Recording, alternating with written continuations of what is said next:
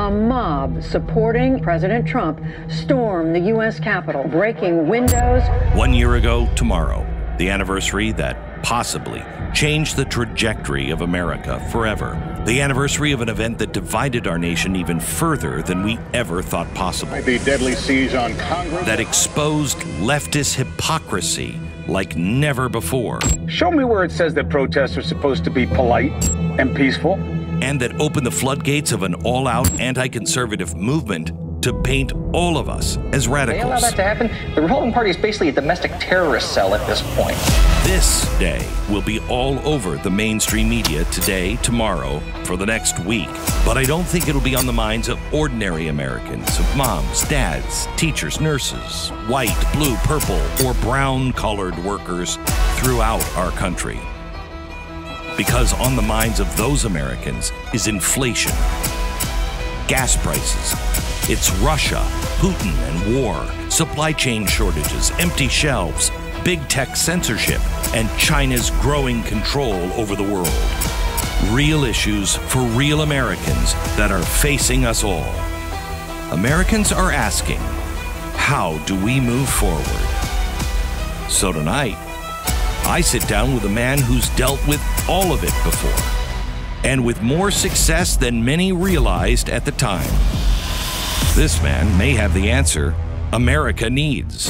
Tonight, President Trump on the economy. When I left, it was $1.87 a gallon for gasoline. Now it in California was just announced $7.77. On China and COVID. The mandates have been a disaster. And on the optimism we're all craving like never before. Can we turn this around and get on track. Quickly. Quickly. We can. Tonight, the January 6th distraction. President Trump on overcoming America's real challenges. Hello, America. I'm at home tonight. I have just gotten the exciting news that I have COVID.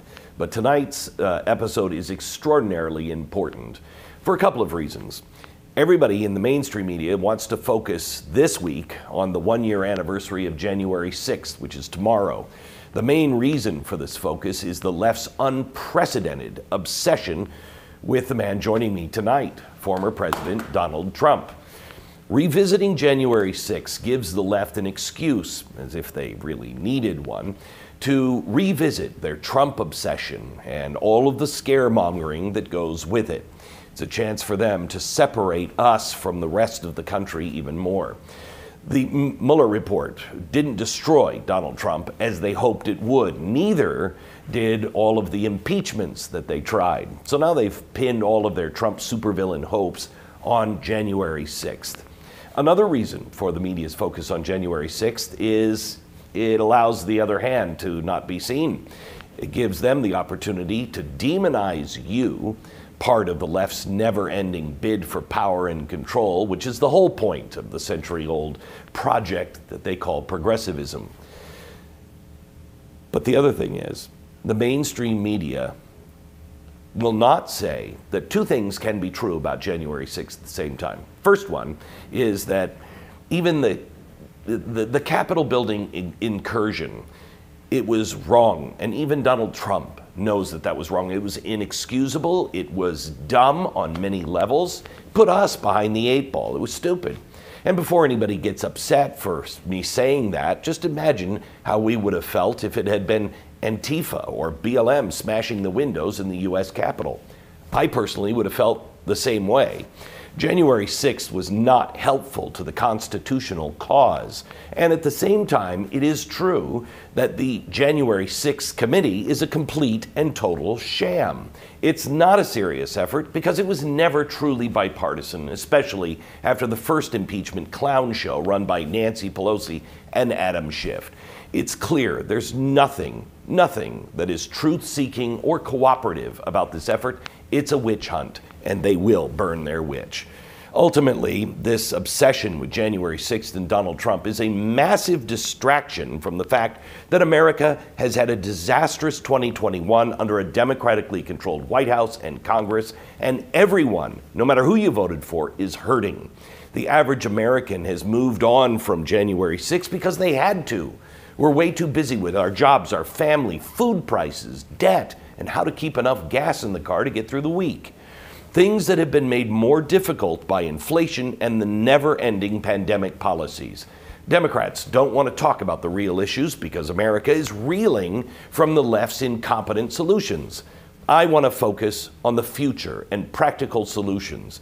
I think that's where America is, and that was my mindset when I visited Mar Lago recently for a sit down interview with the former and potentially future President Donald Trump.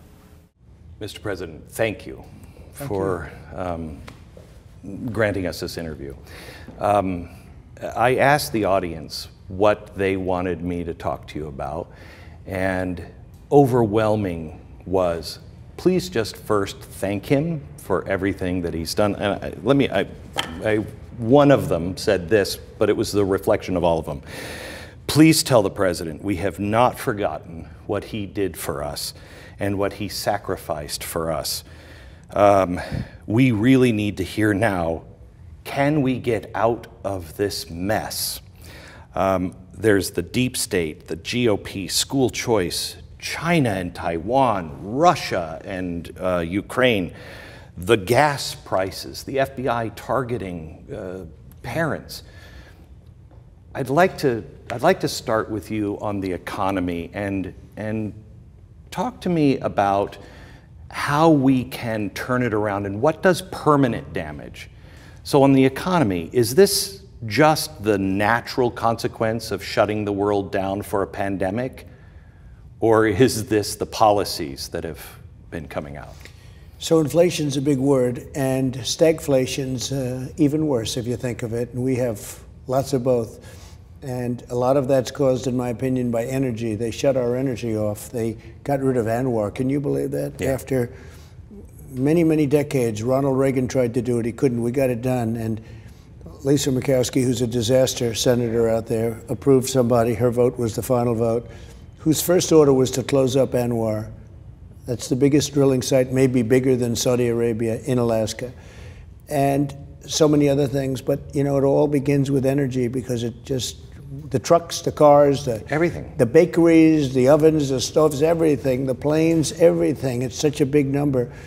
And when I left, it was a dollar eighty-seven a gallon for gasoline. Now it in California was just announced seven dollars and seventy-seven cents, and the rest is all following. And they're not. They're, what they're doing now is because they believe that we have to be uh, petroleum free, which is just crazy, insane. Yeah. We are not ready, even in ten years. Can't we?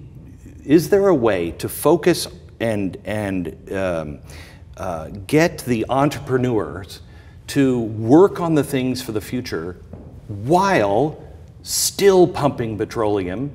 So you have both. We're reaching for the future, but we're not killing ourselves at the same time. So one thing is the other technology does not have the power to fire up our plants. It just doesn't have the power. Right. Wind is extremely expensive. By the way, the turbines are all made in Germany and they're all made in China, those two mm-hmm. places. And assuming you're believing in atmospheric filth, Mm-hmm. which is what they talk about. When they make those turbines, no matter how much they saved, if they save anything, the air is very dirty, assuming you believe that. But turbines, very expensive, doesn't work, and it's very intermittent, and it doesn't have the power to do what you want to Right. do. And by the way, kills all your birds and ruins your, I mean, these magnificent landscapes that are Right. just being decimated Right. by wind. Solar doesn't have the power, and by That's the way, dirty to make. it's very tough to make and it's dirty. And by the way, you have to change them. You have to change those Mm-hmm. panels at the end of 10 years. Everyone says, oh, great, we just. No. As soon as you start getting your money back, which actually takes 30 years. Yeah, you don't. But in 10 years, you have to change the panels. Same thing on the wind. You take a look at those windmills after 10 years, they're beat to hell. And we have sitting, we're sitting on top of liquid gold, and the world doesn't want us to use it. And certainly China doesn't want it. to. We have something China doesn't have, and they don't want us to use it. But it's real power. And if you look at China, they're opening up a massive coal plant every week, Every week. or more. Yeah. And it's not like, gee, it's going to stay within the confines.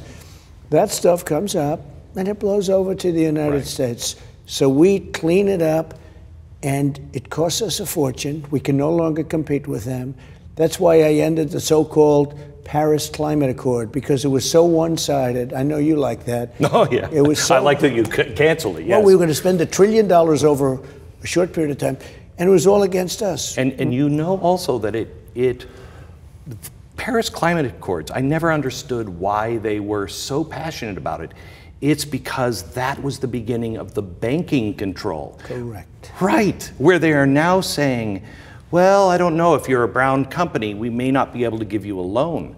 This is all happening, and it's a fundamental transformation at a scale I don't think people understand. Yeah. It can, when Obama was stopped deep sea drilling, Right. and pulled all of the the the um, uh, drilling out, Right. the concern was you don't just make a new one; those are on 20-year, 30-year leases. Absolutely.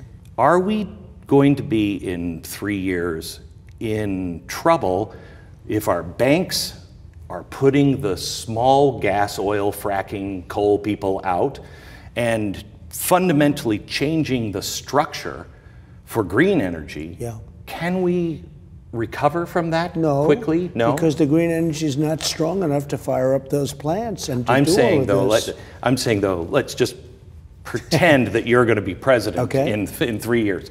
Can we turn this around and get on track? Quickly. Quickly. We can. Yeah, we can. I mean, we have to have optimism, and this is more than optimism, this is fact. We were energy independent 11 months ago, totally energy independent. And now we're going to OPEC to beg them for oil. I know. We're going to OPEC, Saudi Arabia, Russia. We're going to Russia. We're making Russia so rich. You know, when I ended the pipeline in Russia, everyone said, Oh, I'm so nice to Russia. I got along great with Putin and with President Xi and with all of them, but there was never anybody tough like I was on that. And with the tariffs on China, we took in billions and billions of dollars and frankly brought a lot of businesses back home because it no longer made sense for them to do things in China. But when they did the pipeline, and look at Russia, their primary thing is oil and mm-hmm. the cost. What we're doing is we're making them rich. Mm-hmm. When you see the kind of money that people are paying to OPEC, which includes Russia and Saudi Arabia, these people have never made this kind of money. This all happened over a short mm-hmm. period of time. We would become energy independent quickly. Again, Energy will again. Yeah. We were the for the first time I, ever. I, I have to tell you, when I first heard that, I didn't think that was going to happen in my lifetime. Yeah. We have talked about that forever. No one in the press talked about the fact that we were energy independent. I remember the first time I heard that we were energy independent. Right. I heard it from you. right. It's astounding. And in a month, we're back on. Well, they just turned everything off. Right. I got it going. So we were bigger than Russia, bigger than Saudi Arabia. In one year, we would have been bigger than both combined. Think of that.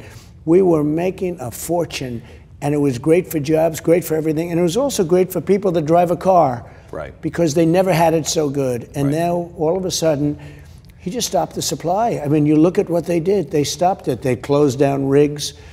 Uh, they stopped the leasing of government lands.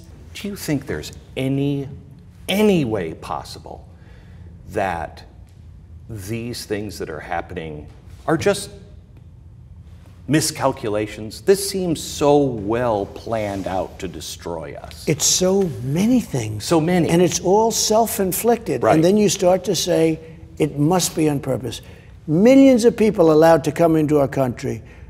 Prisons being emptied from many countries. You know, it used to be three or four, I'd say, but it's hundred. They had 121 countries now. Prisons being where people are being dumped into our country. We have 12. I think it's I think it was 12 that came out. 12 cities that are at their Breaking, peak, yeah, right. breaking records for homicides, Yeah. all run by Democrats. breaking points. And many of those people that are causing the crime are coming through our southern border. We had the strongest border in history. Hmm. Now we have the weakest border in history. And that includes drugs. We brought drugs down 61%, and it was going to get better. And now I hear it's five, six times more than it was at its worst.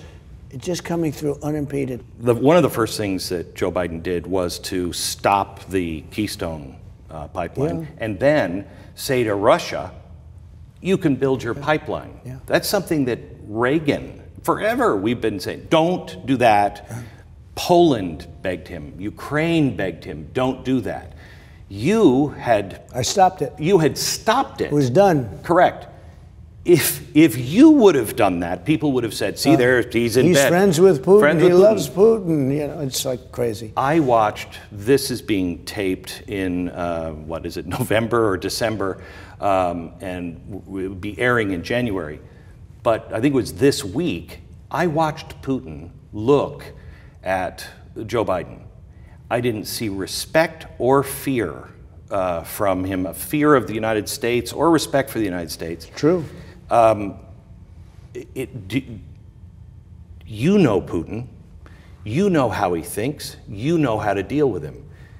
Is he going to move into Ukraine, do you think? Well, it's looking like that. Uh, you know, when Biden told him about what he was talking about sanctions, when Biden says sanctions, Putin's saying, sanctions, if they're only going to sanction, then there's no sanction that's going to stop me from taking over a country. And by the way, it's a massive piece of land Right. in an unbelievable location. Right. You know that. But he didn't say there could be very serious consequence. A sanction is not a serious consequence, no matter how strong it is. Not when it comes to taking over a country. Correct. And there was no fear. Look, with China, there wasn't. There, you didn't have planes flying over No. Taiwan, and I told President Xi, "Can't do that. You can't do that." We had a lot of great conversations right here at Mar-a-Lago when Mm-hmm. he was here. We talked for hours and hours. We got to know each other very well. I said, "You can't do Taiwan." And now all of a sudden, as soon as I leave, they start flying over many bombers. Tell me the. Tell me the. Tell me what happens to us. I mean, they always accused you of trying to dismantle NATO. Yeah. NATO is falling apart and will mean nothing if we don't help Ukraine, and neither will any of our, our treaties if they move into Taiwan and we do nothing. What does the world look like with Russia in Ukraine and China in Taiwan? Well, if that happens, but with NATO is very interesting. I had my first meeting, 28 countries, including us, and I looked at the charts and I said, wait a minute, these people aren't paying. They're delinquent, okay? You know the word, a real estate term. They're delinquent. They're not paying. And I said at the first meeting, you're not paying. And then I had a second meeting a number of months later. I said, you have to pay. And somebody said, does that mean you won't protect us from Russia if we don't pay? I said, that's right, you have to pay. And you know what happened? $400 billion came in. $400 billion. I said, why would we protect you if we're not here to, to protect Europe? And by the way, you take advantage of us on trade. That was the other thing I was doing. They're almost as bad as China on trade, and nobody understands it. Nobody knows it. What they've done with, with so many different companies, as an example, we can sell basically almost no farm product in.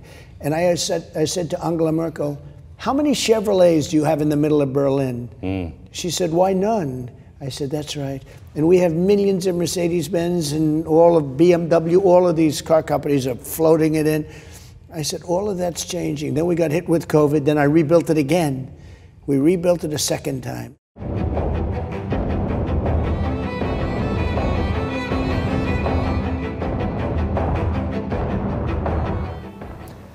I really hate to be the bearer of bad news, but your home might not be as safe as you imagine. When you think of danger, you probably think of somebody breaking into your house while you're gone, or worse yet, in the middle of the night.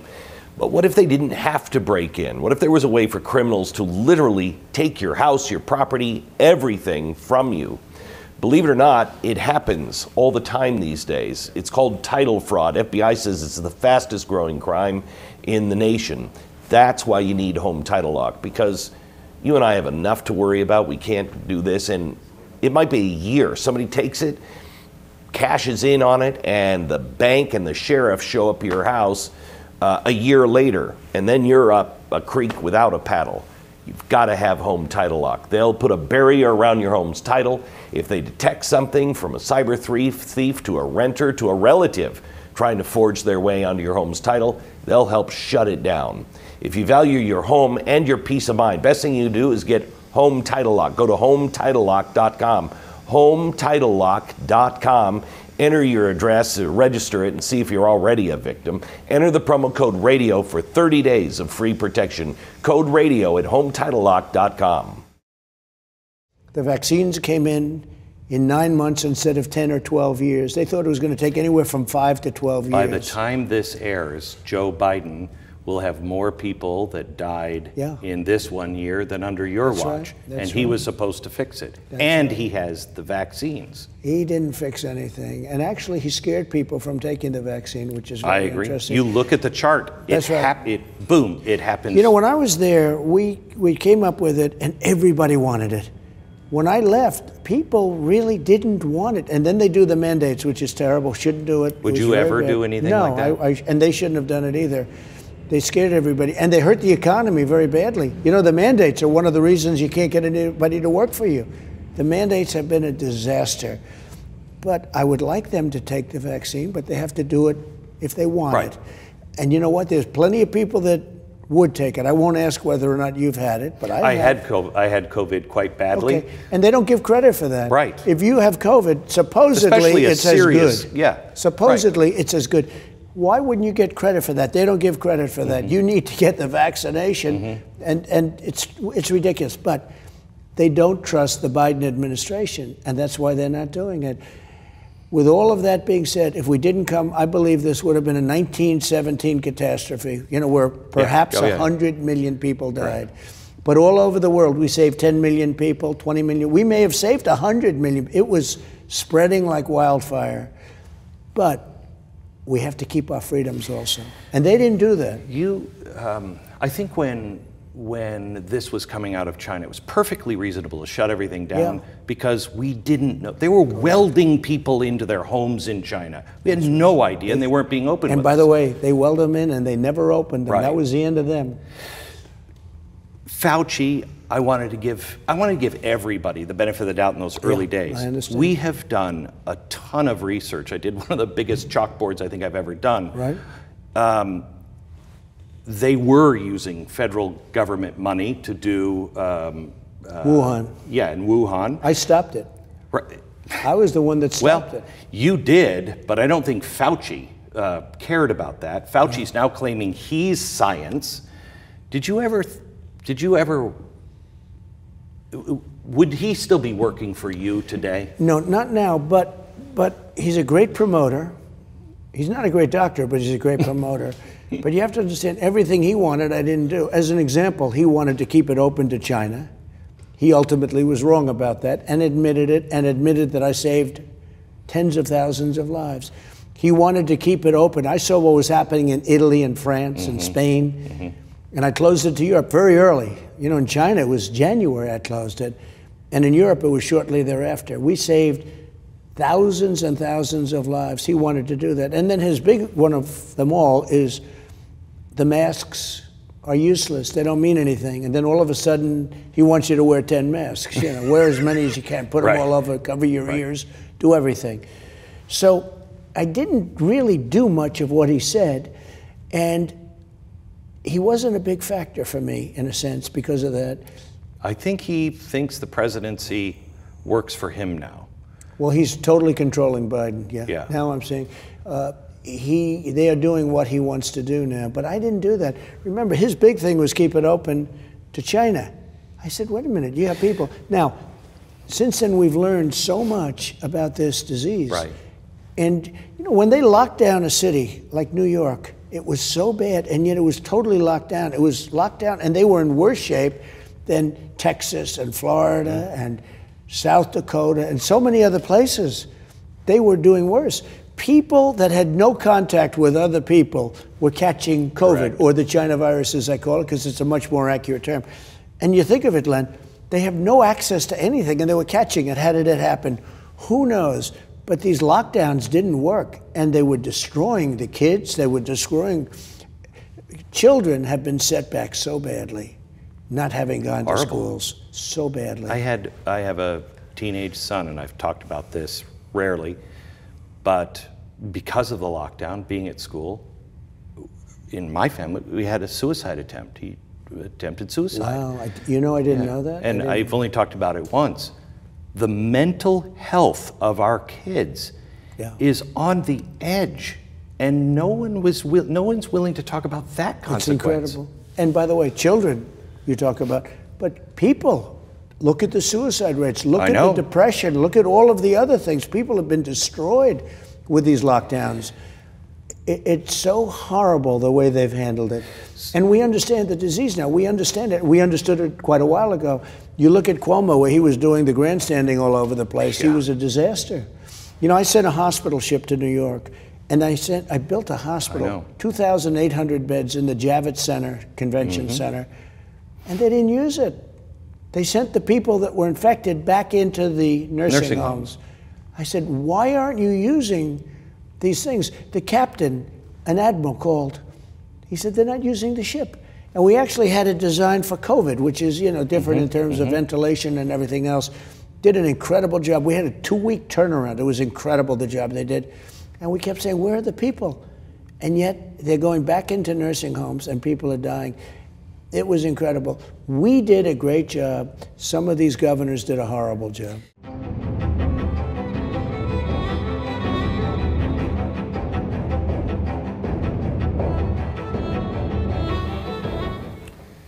Think it's critically important that you get your finances in order, that we save as much money as we possibly can.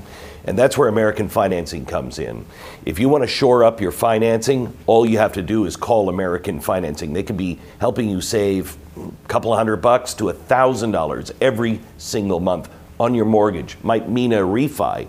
It might mean that you do a new consolidation loan those high interest credit cards are going to become even higher interest credit cards. The Fed has already said that they are going to raise the rates. It should happen anytime, could happen by spring. No upfront or hidden fees. They could save you a lot of money. Please just call Home Title Lock. You could close in as little as 10 days. Go to, I'm sorry, not Home Title Lock, American Financing. Go to AmericanFinancing.net. That's AmericanFinancing.net, 800 906 2440. It's AmericanFinancing.net. Let me pivot to um, schools. What is fascinating to me, before President Biden even walked into the Oval Office, he had just taken the oath, and his staff um, began executing an executive order. Yeah. The f- one of the first one, if not the first one, was to pull the 1776 Commission report which I set up. which you set up. It was completely reasonable. I've read it. It is accurate history. And if you look at that, I thought at the time, why would that be your first priority? We now know, and we, we have school boards uh, Right. running things into Marxist territory, pitting our kids against each other, and the FBI investigating parents. A, is it time to get rid of the Department of Education and give the schools back to the states and to the parents? So I wanted to do that. We would have done that, or we would have done a very big forum of it. You have people in Washington, D.C., that don't even care about the kids. They're bureaucrats, they're working in Right. Washington, and they're telling people in Iowa, and they're telling people in Idaho, and in other places, faraway places, where every place is different. They're telling them exactly what they're going to study. You don't need that. There should be a little coordination, like Sure. you have to learn English. Yeah. You have to have some basic math. But what they were doing was terrible. And then what happened is it started getting into the whole cancel culture thing and all of the different things that you've been reading about, which is totally true.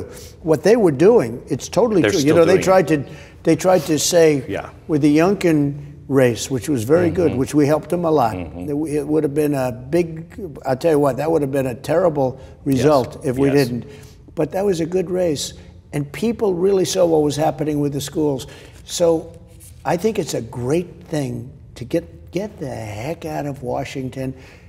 You know, some of these states do a great, a terrific job. They can't move because of the federal government. They can't do what they want to do. And look at where we stand internationally. We spend three times more for education per student than any other country in the world. and we're in 38th place. It's terrible. So you give it back to the states, where the states, and some of these states will do a fantastic job. Not all of them. Mm-hmm. You have some that are badly run themselves; they're not going to do so well. But you'll have states that are doing a phenomenal job. They'll be, they'll be doing a job like Norway, like Sweden. I hate to say this, like China. You know, China has great education. They do a fantastic job. They're rated number three, and and for a small fraction of the money that we Right. spend per student, because that's the only way you can judge it. Right. We spend three times more than any other country. Take the second country, we spend three times more. And some of these kids come out of school, they can't read or write. It's really bad. So the problem here is, and you exposed this, and even I was uncomfortable when you said the press is the enemy of the people. You were right. Um, I knew the deep state was a thing, this bureaucracy that just doesn't answer to anybody. Um, but I didn't realize how bad it was until you started to expose it. I just made But a you list. exposed it also. I remember you long before I got this involved. I used to get great press. Remember, before Oh, I I ran know. for politics, I guess that's You how I got elected. I got, I was the the boy wonder. I was getting great press. I mean, historically, I Yeah, would yeah, get yeah, pretty yeah. good press. Long before that, you were hitting the press pretty hard. They were also hitting you pretty hard, Yeah. and you realized it was unfair. Right. No, I said they're the enemy of the people. I came up with the fake news. I know. They're the, one of the best of all names. They're fake news. But now I realize it's not strong enough. They're really the corrupt news. They're very corrupt. As I look at the deep state, let's just pretend you're going to you're going to run again. Okay. Um, and you're president, two terms. You'll have four years. As I look at it, you have to pretty much clean house Right. at Justice, the FBI, CIA, NSC, NIH, the State Department, Treasury, HHS, Department of Ed- Education, and the Department of Ed- uh, Energy. Their roots are deep in those. Deep. Many, many years. Can you, in four years, fi- I know you're good at this, you'd had a show, you're fired. know. Can you fire and replace all of those things in four years? You pretty much have to look. When I got elected, I was only in Washington, D.C. 17 times, they say. I mean, I think it's about that right, but they did say. Of the 17, I never stayed overnight. And many of those, those times we're building a hotel, mm-hmm. which is a beautiful hotel, It's a great hotel. at the old post office, right on Pennsylvania Avenue. So I was never here. I never was into the world of the Washington D.C. All of a sudden, I'm president, and I rely on people. We had great people. We had some great people, and we had some bad choices too. The answer is yes. We have to do that, and it can be absolutely done. But I realized as time went by, I, re- I and I got to know. I went from knowing nobody to knowing just about everybody. I know incredible people. And we did. Look, we rebuilt the military. We did so many different things know. that nobody, including the vaccines, but we did so many things that nobody thought possible. You know, one, right to try, where the FDA is very slow with drugs, we got to cut in half. But still, if somebody's dying terminally ill, and them we have something that's great, we now are able to give it to them because, and it's working miracles. What's happening to people, it's incredible, saving lives. But we did so many things. But now I know what's happening. I know so many people that are so great that are longing to come in with the same attitude that you have of changing it. Now, for 30 years, whether it's Bush and mm-hmm. some of the Republicans are honestly, some of these mm-hmm. RINO Republicans are worse than Mitch McConnell. they're worse. Mitch McConnell is a disaster. He's a total disaster. He gave up the debt ceiling for nothing. He just gave them the debt ceiling for. He is a total disaster, Mitch. But when you take a look, the Republicans, we've had Bush, Clinton, Obama, and at that time, many, many years of of people being put into place. They've been there for 30 years, 35 years. Has to be cleaned out. Has to be cleaned out.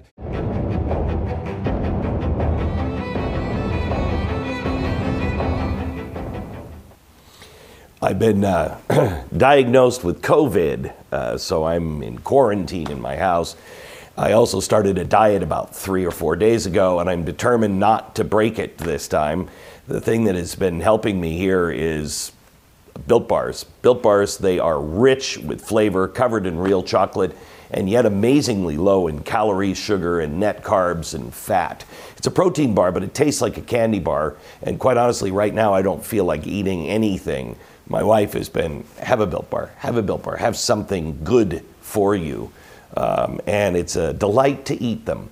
Try them right now. They've got tons of different flavors. Get the mixed bag box, um, and you'll be able to try out and find your favorite flavors. It's built.com. Use the promo code BECK15.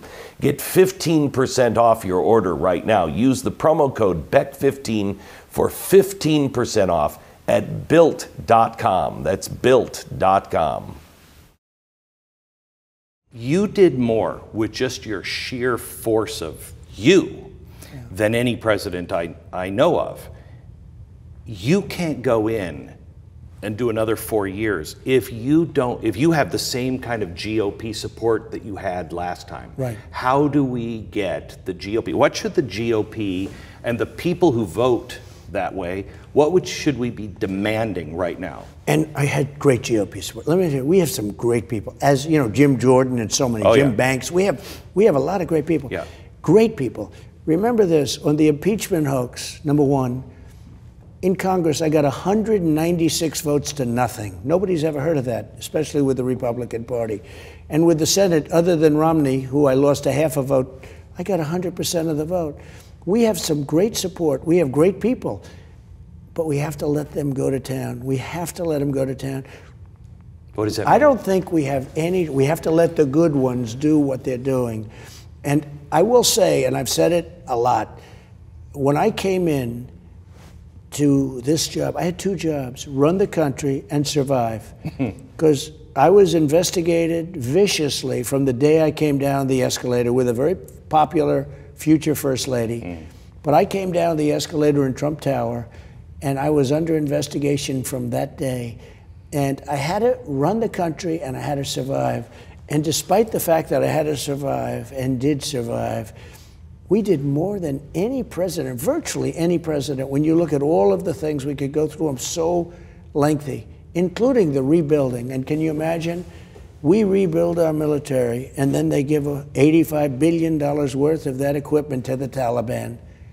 And they take the generals, the generals move our military out before they take our citizens I've, out. I've always trusted our military. My son wanted to go into the military. It's been hurt very badly. I don't know if I can tell my son to go in the military. I don't trust. I trust the military. I do not trust the command now. I call them the television generals. But remember this: I took over 100% of the caliphate. If you look at it, ISIS, the caliphate. I, I took I'm over. the caliphate king. I watched. And I took I down al Baghdadi. You yeah. know who al Baghdadi yep. was. And that was from day one. I said, you, the military is great. We have great generals, but not these television guys like Milley. We have great generals, and I know a lot of them.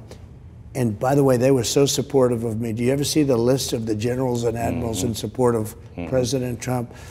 But we took out 100% of the ISIS caliphate. Think of that in Syria, in Iraq, and got al Baghdadi and Soleimani and so many others. And you know, the, the, the military is great, but the guys on television are terrible. Secretary of Defense, you take a look at what's happening over there. They made so many bad decisions. Think of this, and, and don't believe that I don't believe that China, Russia, Kim Jong Un, Iran wasn't watching. When we uh, surrendered in Afghanistan, it was like we surrendered to take the military out first and to leave American hostages, it's probably thousands of them, and to take hundreds of thousands of people out of Afghanistan. We had no idea who they were. There are many terrorists in that group. Only 3% of them, it now turns out, were qualified to leave. But to do that and to, to lose soldiers, we lost 13, but we badly, badly wounded, meaning no arms, no legs. 28 soldiers, and 250 people overall were killed. This should have never happened. We had an understanding, I had, with Abdul. He was the head, and he still is the head of the Taliban. In 18 months, not one American soldier was killed. And I wanted to get out more than anybody. You know that. I got it down to 2,500 Mm. soldiers. We were going to take everything out. All the equipment was starting. And I said, I don't want to leave a nail, a screw, a bolt, a tank, a plane. Everything comes out. Even the tents that we used as the hangars, everything. They said, sir, it's cheaper to leave it. I said, we're taking everything.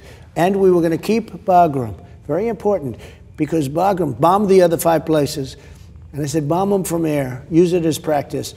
But we're keeping Bagram because it's right next to China, one hour away from where they make nuclear weapons. And to watch these people give up everything, and now China is occupying Bagram. I, will- I will tell you, Mr. President, and I've never said this to anybody, nobody knows this. Um, you know, we went in and we rescued a lot of people Yes. in Afghanistan. That's right. Um, the State Department was so horrible, um, but one of the planes that they said we have to, they have to fill, we had to fly out before we, we could get any of our other people out. Some of our own soldiers. My first plane we um, flew out after the collapse of the airport Right. was filled with our own soldiers. And I, I have to tell you, we made the deal because that was the only deal that would get the other people out. But when the United States of America leaves some of our own special forces back and needs a private uh, charity to fly them out, it's reprehensible. Reprehensible. Not even believable. By the way, not even believable. And I'm going to tell you, there's a fly on your hair. Ah, thank you. And you know what? The last time there was a fly on somebody's hair, it didn't, They work didn't- out so well. I know, I know, I, I just saw a fly. Did you see that? You'll see it. And I said, you know what? Get that fly off your hair. Thank you.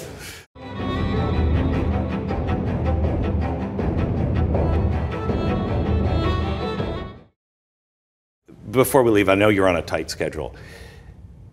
I think Melania was one of the best first ladies, Jackie O quality. Right. Um, she restored the White House garden. She didn't change it, she restored it to Jackie O and got slaughtered for it. So beautiful, the job. So beautiful. The book that you guys are putting out, the coffee table Right. book, A, I hope it has focused somewhat on her work that she did.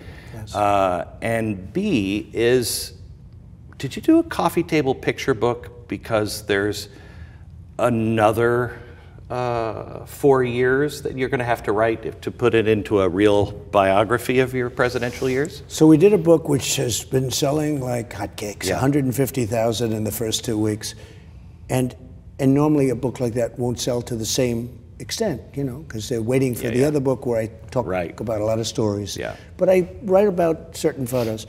I did it really for a different reason. It's so sad our country right now. I don't think we've ever been lower. And despite all of the witch hunts and the phony Russia, Russia, Russia impeachments, it was a beautiful time. We had the greatest economy in history. We then had the China virus come in, and then I rebuilt the economy. I really rebuilt it twice. The second time harder than the first. But we had the greatest economy, the greatest everything. It was a glamour pit. It was a beautiful period. Mm-hmm. And now I see what's happening with energy, with inflation, with the military, with these awful. clowns. Uh, and I said, you know what? Let's put out a book talking about how beautiful it was because we're going to make it that way again. And it's people like you that really, you have done such an incredible job.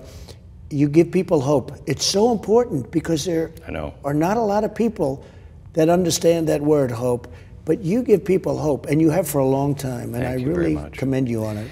Thank you, Mr. President. I hope we get a chance to talk again, and I sincerely hope that you are running again. Oh, thank you very in much, four Tom. years. Thank you, sir. Thank you. On Sunday, the New York Times editorial board ran a story declaring, quote, January 6th is not in the past, it's every day. That pretty much summarizes the left's whole philosophy of January 6th.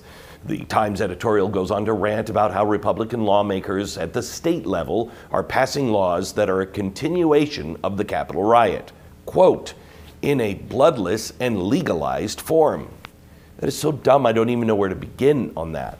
The state laws will be subjected to all of the normal legal scrutiny and challenges, and they're being passed by elected representatives under constitutional rules. This is how this process is supposed to work. But you see, the left doesn't like the process. They've always hated it. And that's why Chuck Schumer is going to force us a vote in the Senate this month on abolishing the filibuster.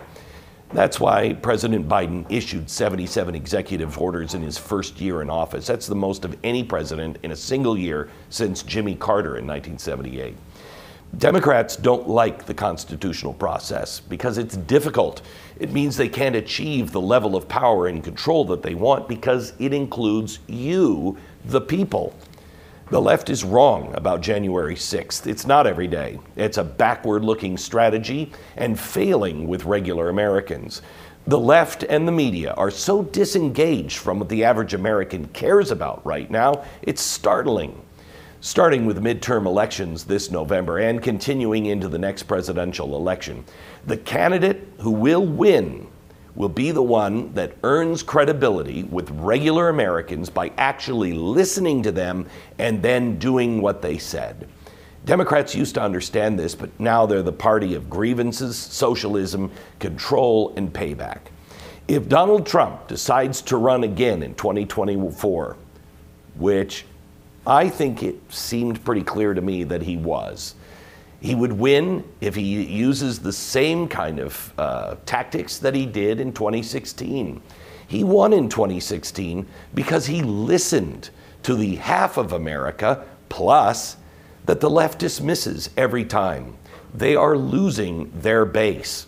Whoever challenges Joe Biden is going to is going to have to be open, honest, and run a positive campaign. One that looks over the horizon, one that will fill people with the feeling, yeah, this can be fixed and I'll do it. Positive campaign because America is clearly headed in a disastrous direction under the current leadership.